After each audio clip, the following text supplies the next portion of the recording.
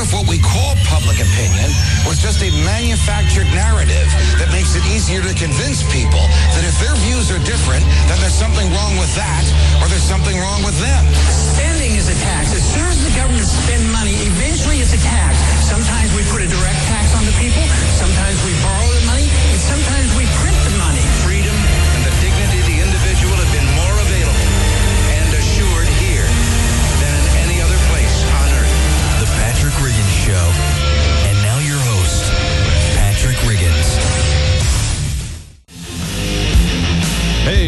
welcome to another hour of the Patrick Riggins Show.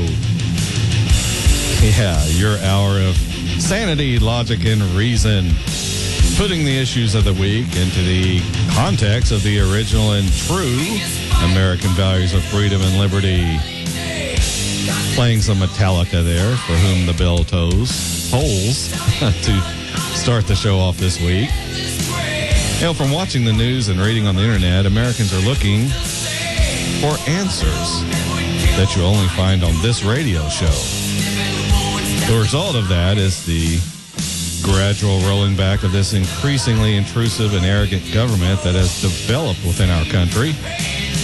Americans are wanting an answer for all of this, and the bell is tolling for the two major political parties and all their hacks in the media trying to sell us on their snake oil. this is the Patrick Riggins Show coming to you live on the Libertarian Lighthouse Radio Network and locally here on locally here in Knoxville, Tennessee on News Talk 98.7 WOKI. I want to hit on some NSA news before we get started into the meat of the show this week. We posted this on our NSA monitored Facebook page. It's a uh, story about them, the NSA. So, hey, maybe they got a kick out of reading it. it ran, uh, the story ran in the UK Guardian this week and is entitled NSA Paid Millions to Cover PRISM Compliance Costs for Tech Companies. What it says is the National Security Agency paid millions of dollars to cover the costs of major internet companies involved in the PRISM surveillance program after a court ruled that some of the agency's activities were unconstitutional. This is according to top secret material passed to the UK Guardian. The technology companies, which the NSA say, says includes, this is the NSA saying it includes Google, Yahoo, Microsoft, and Facebook, they incurred the cost to meet new certification demands in the wake of the ruling from the Foreign Intelligence Surveillance Court.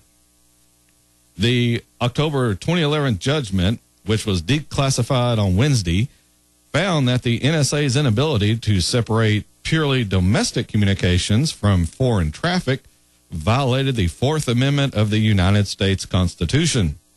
An NSA newsletter entry marked top secret and dated December 2012 discloses the huge cost entailed. Quote, last year's problems resulted in multiple extensions to the certification's expiration dates, which cost millions of dollars for PRISM providers to implement each successive extension, costs covered by the special source operations of the NSA. Oh, isn't this nice? The government demands these internet companies give the NSA access to all of their data, and the cost to do it is put on the taxpayers. So we're paying the additional cost of making it easier to spy on us. Are you sick and tired of the NSA yet? the disclosure that taxpayers' money was used to cover the company's compliance costs raises new questions over the relationship between Silicon Valley and the NSA. Since the existence of the program was first revealed by The Guardian and The Washington Post on June 6th, the companies have repeatedly denied all knowledge of it and insisted they only hand over user data in response to specific legal requests from the authorities. An earlier newsletter, which is undated, states that the PRISM providers were all given new certifications within days of the FISA court ruling. Quote, all PRISM, PRISM providers, except Yahoo and Google, were successfully transitioned to the new certifications. We expect Yahoo and Google to complete transitioning by Friday, 6th of October. Now, PRISM operates under Section 702 of the FISA Amendments Act, which authorizes the NSA to target, without a warrant, the communications of foreign nationals believed to not be on U.S. soil. But Edward Snowden's re- revelations have shown that U.S. emails and calls are collected in large quantities in the course of those 702 operations, either deliberately because the individual has been in contact with a foreign intelligence target, or inadvertently because the NSA is unable to separate out purely domestic communications. Last week, the Washington Post revealed documents from Snowden that showed the NSA breached privacy rules thousands of times a year in the face of repeated assurances from Barack Obama and other senior intelligence figures that there was no evidence of unauthorized surveillance on Americans. Now, we've been talking about this on the show for months now. In fact, we covered this last revelation just this last week on our show.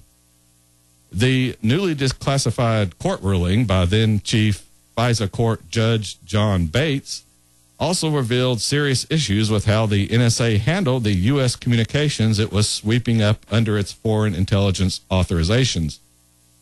The judgment revealed that the NSA was collecting up to 56,000 wholly U.S. internet communications per year in the three years until the court intervened.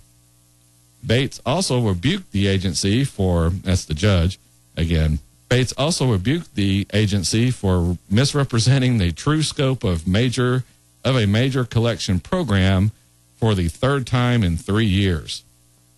There's really no surprising here, news here. I mean, really, is anyone surprised to see this kind of thing and find out it's been going on this whole time? I'll ask the question this week that I asked last week. Are you going to do anything about this? Or am I uh, interrupting your television time? this stuff isn't going to stop or go away just because you don't want to pay any attention to it. In fact, it's going to continue to grow and become more draconian each day you sit there and allow it to go on. Now, this story dovetails nicely with another one that ran on FoxNews.com this morning.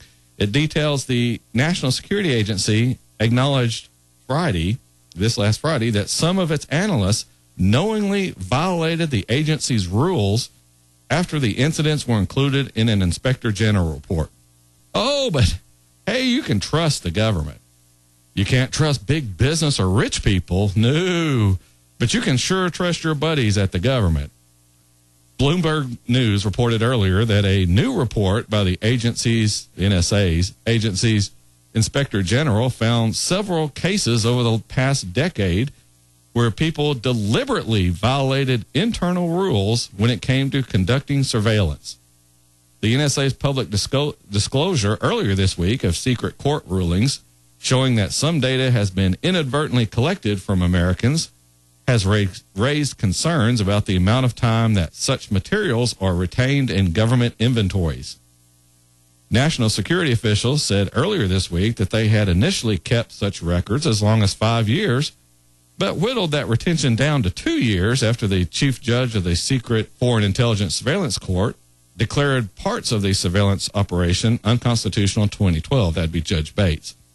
The NSA altered its collection processes, and then the judge then allowed the operation to continue. So, isn't that great? The judge said the NSA didn't have to stop collecting all this information about people. It just had to, quote, alter its collection processes, unquote. So, collecting information in clear violation of the Constitution, that never entered the judge's mind.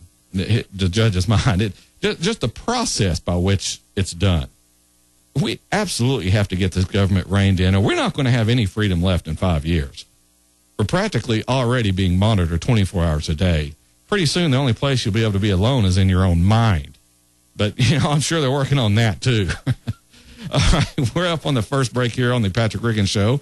We have a lot to get to. and we'll get started when we get back here on the Libertarian Lighthouse Radio Network and News Talk 987 WOKI.